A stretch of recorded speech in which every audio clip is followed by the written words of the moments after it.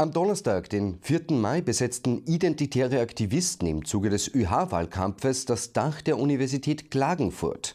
Die ÖH sei ein Sammelbecken für linksextreme Nachwuchsideologen. Das Geld der Studenten wird von der ÖH für linke Propaganda zweckentfremdet, so die Aktivisten. Sie fordern unter anderem ein Verbot linksextremer Vorträge an der Universität, Lehre und Campuskultur mit einem positiven Bezug zu unserem Volk, Aufhebung des ÖH-Zwangsbeitrages sowie eine Entschuldigung der gesamten Universitätsverwaltung für den Corona-Wahn sowie eine Entschädigung für Ungeimpfte.